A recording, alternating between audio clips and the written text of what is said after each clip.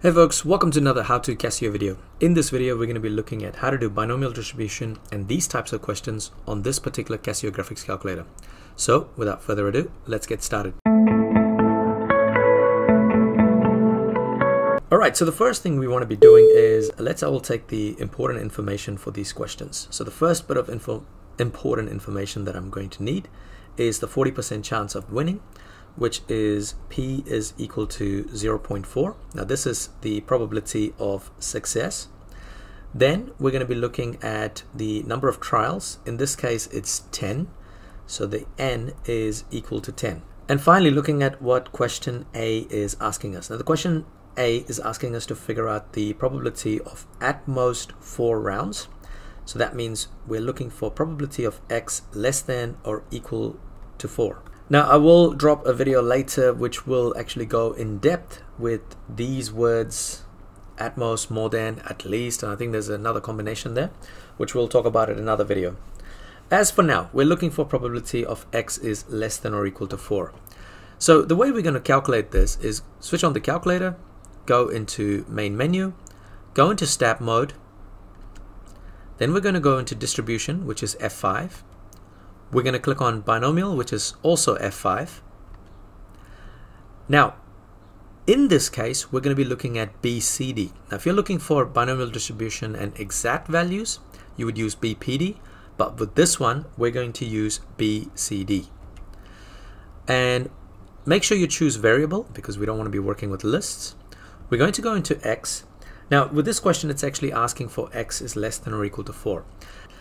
Now the calculator can only calculate up to a particular value. So if I actually put down 4 and go down to number of trials as n, which is 10, and then probability, well, probability is 0.4, which is success.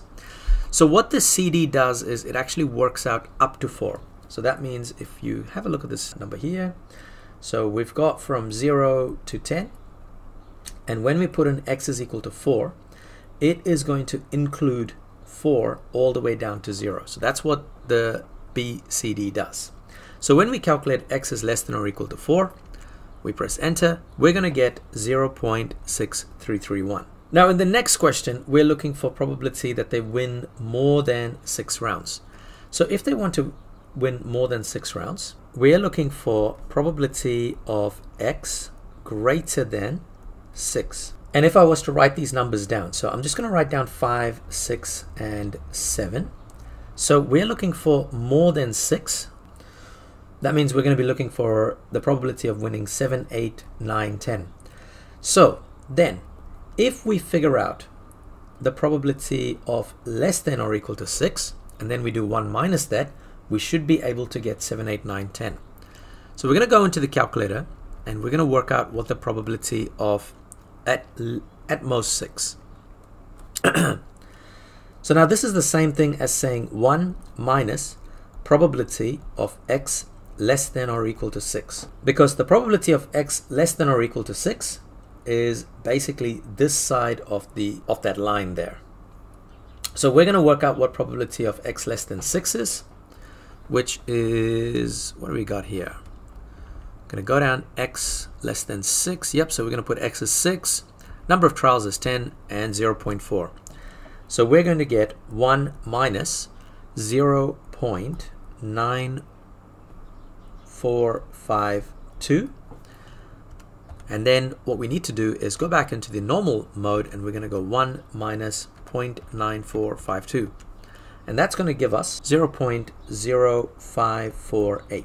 So that 0.548 is the probability of um, x greater than 6. So that's when x is equal to 7 plus 8 plus 9 and plus 10.